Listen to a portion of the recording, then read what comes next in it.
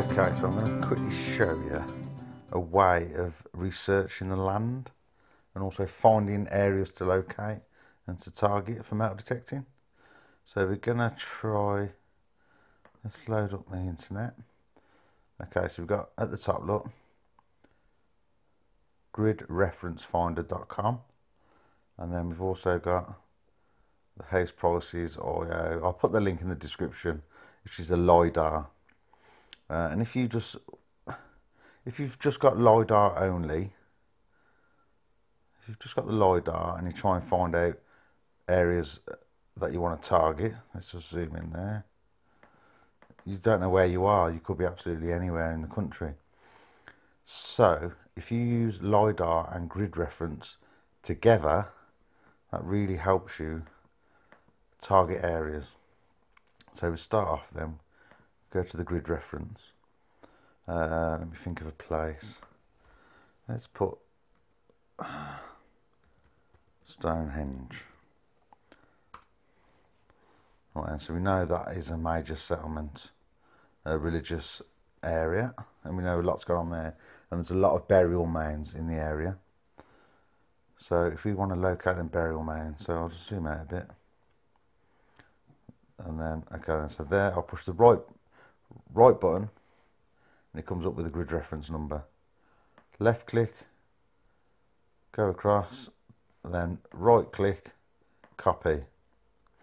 Yeah, so you highlight the number, copy it, then open up your LiDAR, click on the little magnifying glass there, the search icon, left click into the search bar, then right click and paste, and then click enter that takes you straight to that area look. If it's blue that means that the LiDAR hasn't caught that uh, part of the land. Um, I can zoom out again. So we know now that that area there is exactly where I took the grid reference from. Here there it is look. So that grid reference that I took there has brought us there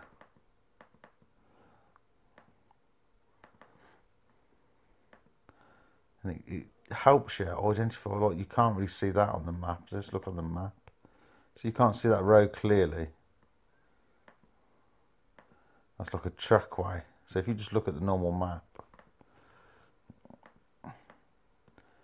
you can't really see what's going on there. Even if I zoom in it just looks like two separate fields. Then you go to the LiDAR you can clearly see there's a trackway there so if you wanted to, obviously you can't do it on this land, it's wholly scheduled, but you could follow the, the road going across and think, well, where's that taking me? It looks like there's a possible building there of some sort or something's happened. Burial mounds now, look. And look, you can find the burial mounds. There's a burial mound there. There's another road coming down. Look at all these burial mounds. It's amazing, isn't it? I'd love to be able to uh, detect around Stonehenge. Oh, big road coming across there, look. Uh, so let's let's try another one. So you can just click the LiDAR again if you want to go back to the start. It takes you back to the start. Go onto the grid reference if you want to start again. Just click on the icon that you've saved into. You can save them as bookmarks. Oh, you click on the star there. Look, so you, you put put this link in click on the star and it will save it up to the top here for your bookmarks and do the same with your LiDAR. Put the link in load it up and then click the star save it to your bookmarks. Makes life easier. Right and where else is there? There's absolutely anywhere. Shall we?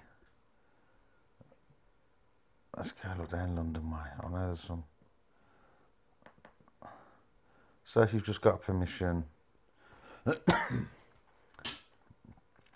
I will just go here. Let's just go here and say. So, right, in nearest farm we can sort of see.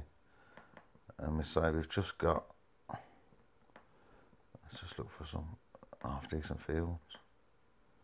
Here, look, so we've just got this area. And you want to know what's going on in that area. So we click on the, click round, say if we've got, want to look in that field, I'll right click copy the grid reference number, go on to LiDAR, into the search icon, left click, right click, paste, and then click enter. that one is not on there. So we know that's not on the map there where we was. So we've come across a little bit now. We've got that the white Y there. So if we go to the map again look for that white Y, which must be there. That's the white, yeah, look, there's a round circle there. What's that?